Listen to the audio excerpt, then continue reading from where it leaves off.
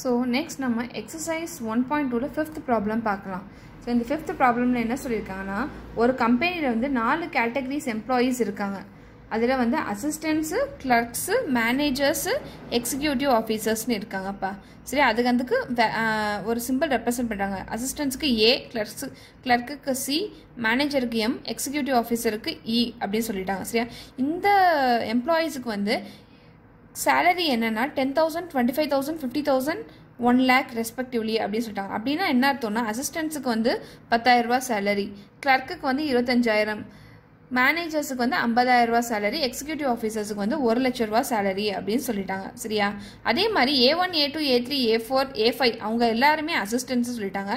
C one C two C three C four எல்லாருமே கிளர்க்கும் சொல்லிட்டாங்க. M one M two M three M four எல்லாருமே manager சொல்லிட்டாங்க. E one E two வந்து executive officer சொல்லிட்டாங்க. அப்படின்னா என்ன அர்த்தம்? A one A two A three A four A ஃபைவ்க்கெல்லாம் பத்தாயிரரூபா சம்பளம். C one C two C three C ஃபோருக்கெல்லாம் இருபத்தஞ்சாயிரரூபா சம்பளம். M one M two M three M ஃபோருக்கெல்லாம் ஐம்பதாயிரரூபா சம்பளம். ஈவன் ஈட்டுக்கு e வந்து ஒரு லட்ச ரூபா சம்பளம் சொல்லிட்டாங்க. உங்களோட ரிலேஷன்ஷிப்பை அவங்க எப்படி டிஃபைன் பண்ணியிருக்காங்கன்னா எக்ஸ் ஆர் ஒய் அப்படின்னு டிஃபைன் பண்ணியிருக்காங்க. அப்படின்னா என்ன அர்த்தம்னா எக்ஸ் ஆர் ஒய் இந்த எக்ஸுன்றது என்னென்னா அந்த பர்சனுக்குரிய சேலரி ஒய்னா அந்த பர்சன் பர்சன்னா யார்? ஏ ஒன்னா ஏ ஒன் ஏ டூனா ஏ டூ அப்படி அப்படி தான் அப்படி தான் ரிலேஷன்ஷிப்பை ரெப்ரசன்ட் பண்ணியிருக்காங்கப்பா ஸோ அப்படின்னா என்ன அர்த்தம்? இப்போ ஏ ஒனுக்கு எடுத்துக்கோங்களேன். ஏ ஒனுக்கோட சேலரி என்னப்பா? பத்தாயிரரூபா ரிலேஷன் பர்சன் யார்? ஏ ஒன் ஸோ இதுதான். இந்த மாதிரி தான் ரெப்ரசன்ட் பண்ணியிருக்காங்க. சரியா? ஸோ இப்போ என்ன சொல்லியிருக்காங்கன்னா ஆர்டர் பேரில் எழுத சொல்லியிருக்காங்க. ஆரோ டயக்ராமை இந்த ரிலேஷனை ரெப்ரசன்ட் பண்ண சொல்லியிருக்காங்க. சரியா? ஸோ ஃபஸ்ட் நம்ம ஆர்டர் பேரில் எழுதுவோமா? ஸோ இந்த ஆர்டர் பேரில் எழுதுறதுக்கு முன்னாடி ஃபஸ்ட் நமக்கு என்னன்னு தெரியும்னு நம்ம எழுதணும்ப்பா நமக்கு என்ன தெரியும்? We know that A one A two A three A four A five அவங்க எல்லாமே அசிஸ்டன்ட்ஸ்னு தெரியும். C one C two C three C four are clerks M one M two M three are managers E one E two are executive officers அப்படின்னு நீங்கள் இப்போ first எடுத்து எழுதிக்கோங்க. சரியா? ஸோ எடுத்து எழுதலாம். We know that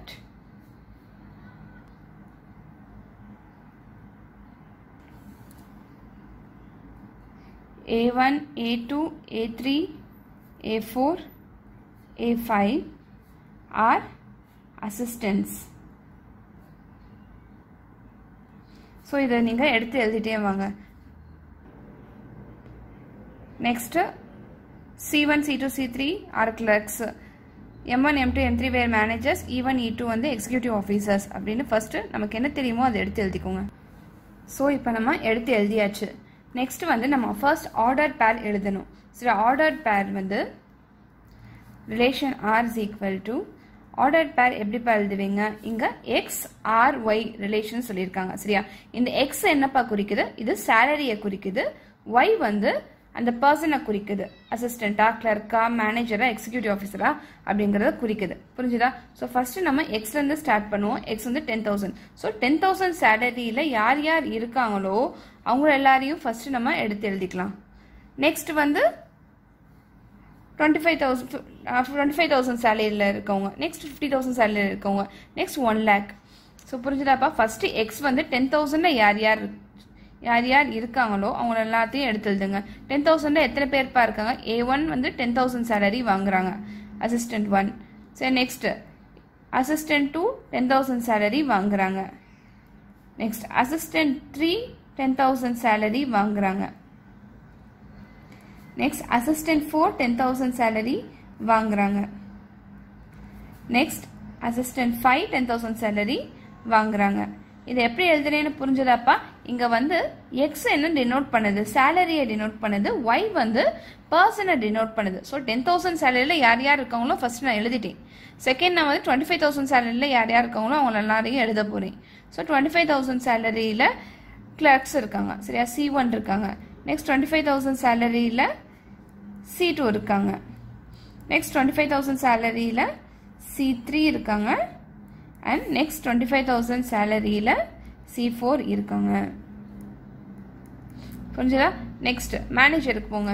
மேனேஜருக்கு எவ்வளோப்பா salary fifty thousand fifty thousand சேலரியில் M one M two M three fifty thousand வந்து எம் ஒன் ஃபிஃப்டி தௌசண்ட் சேலரியில் மேனேஜர் டூ ஃபிஃப்டி தௌசண்ட் சேலரியில் manager three so next executive officers அவங்க one lakh salary so one lakh சேலரியில் இருக்கவங்க even and E two அதை எடுத்து எழுதிக்கோங்க.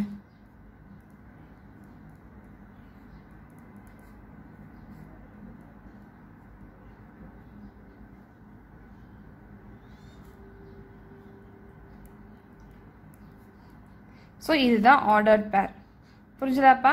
இப்போ next நம்ம ஆரோ டயக்ராம் வரைவோம். ஸோ நெக்ஸ்ட் நம்ம ஆரோ டயக்ராம் எழுத போகிறோம் ஸோ இங்கே வந்து நமக்கு எக்ஸ் அண்ட் ஒய் இருக்குது சரியா? ஆர் எக்ஸ் ஒய் நம்ம பார்த்தோமா இல்லை எக்ஸ் ஆர் ஒய்ன்னு பார்த்தோமா இல்லையா? ஸோ எக்ஸ் ஒய் அதோட எலமெண்ட்ஸ் நம்ம இப்போ எடுத்து எழுதுக்கலாம். எக்ஸில் என்னப்பா இருக்குது எக்ஸ் வந்து சேலரின்னு சொல்லிட்டாங்க. ஒய் வந்து பர்சன் சொல்லிட்டாங்க. சேலரியில் என்னென்ன சேலரி இருந்தது? Ten thousand twenty five thousand fifty thousand and one lakh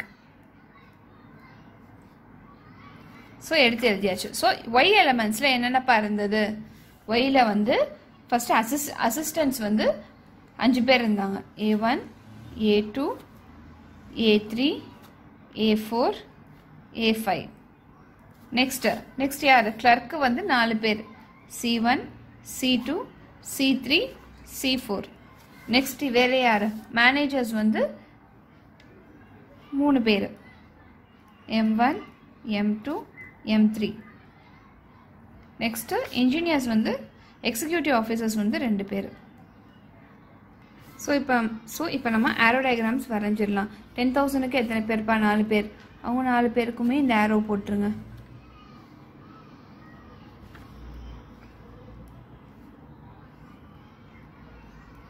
அஞ்சு பேர் இருக்காங்க. ஸோ அஞ்சு பேருக்கும் இந்த ஆரோ போட்டுருங்க. நெக்ஸ்ட் டுவெண்ட்டி ஃபைவ் தௌசண்டில் மூணு பேர் நாலு பேர். ஸோ அவங்களுக்கும் C one C two C three C four வந்து டுவெண்ட்டி ஃபைவ் தௌசண்ட் சேலரி வாங்குறாங்க. ஸோ அவங்களுக்கு எல்லாத்துக்குமே நீங்கள் ஆரோ டயக்ராம் வரைஞ்சிருங்க.